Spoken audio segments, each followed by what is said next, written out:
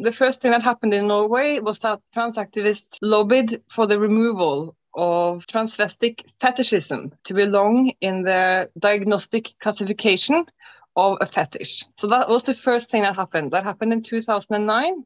And all of a sudden, transvestic fetishism wasn't a fetish anymore. That brought on a wave of men claiming to be women. And it also brought with it this new uh, vocabulary of trans persons and then this concept, gendered identity. It started flooding the mainstream media and then it started flooding like legislation and politicians. Once that was done, in 2013, uh, the concept of gender identity was then included in Norwegian discrimination law. And then the discrimination law then went from being protecting like specific characteristics and it became this kind of catch-all thing where women's rights and, and sex-based discrimination law was sort of sort of lumped together with all the other characteristics race, sexual orientation, and then this new gendered identity. And this decision was made without any assessments to how it would impact women and girls. The next step that happened was that in 2015, the Norwegian Tax Department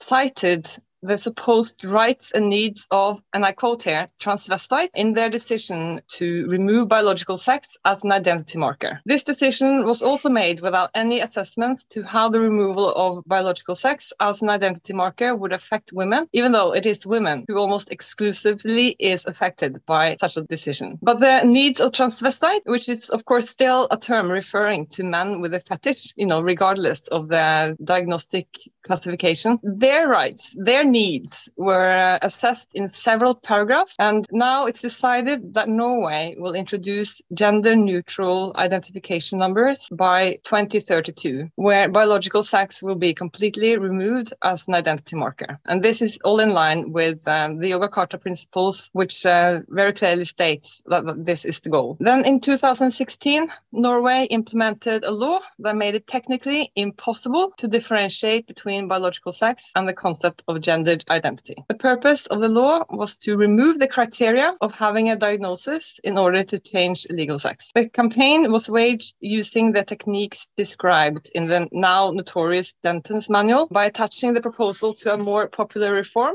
uh, to give it a protective veil, avoiding media attention, and by targeting youth politicians in order to have them present the necessary argument to the different political parties. And I'm quoting here because this is what it says in that manual. By having the, the youth political parties present the necessary changes to the political parties, uh, it would give the impression that the proposal came from within the party rather from an external political lobby organization. And of course, they also lied, straight up lied. They spun this narrative that it was a condition on changing legal sex that the person applying for the legal uh, change had undergone so-called uh, sex reassignment. But this was never the case. Uh, so they outright lied and said that the current legal uh, legislations required the sterilization of trans persons uh, in order for them to be recognized for who they really are, which uh, was not true because uh, so called sex reassignment was never a condition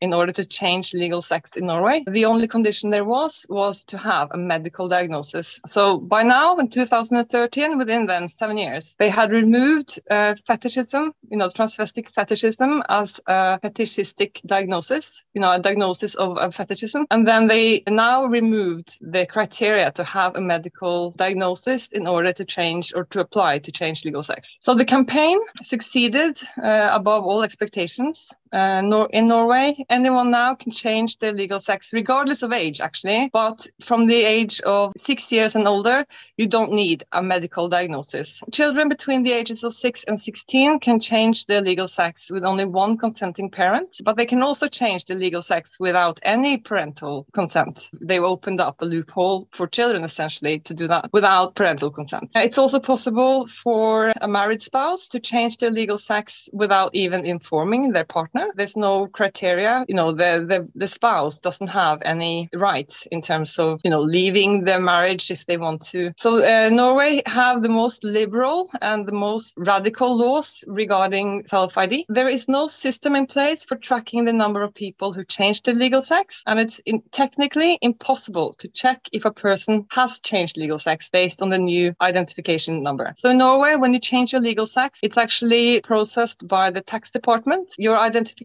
number in Norway includes data, at least now it does, it includes data on sex and age. Female is denoted by an even number and male is denoted by an odd number. So basically, when you change your legal sex in Norway, you're given a new identification number and there are no sort of technical way of checking if a person has changed, you know, has gotten a new identification number. And it's also impossible to confirm whether or not the variable sex is referring to sex or if it's referring to this concept gendered identity. The law in 2016 was also passed without any assessments on the impact it would have on women's rights. The year following the implementation of self-ID, the number of women reported for rape more than tripled. But the change in the definition of the variable, variable sex was never addressed. And it's also technically impossible to uh, accurately verify the sex of these women. And then, so following this, this was in 2016. And so we're already seeing like this repetitively and systematically systematically women's concerns, like just even thinking about women and their existing right and the impact these massive changes to the variable sex will be having for women. It's not considered once. They've considered transvestites, but they never considered women. So then in 2020,